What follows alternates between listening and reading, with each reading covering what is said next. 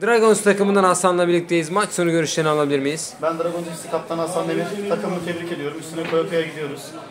Bu senelik yani bizim zor, yani basit demeyeyim de biraz daha şey gibi yani zor rakipler yok gibi bu sene ligimizde. Zaten iki tane zor, zor rakibimiz vardı. İkisine de yenildik.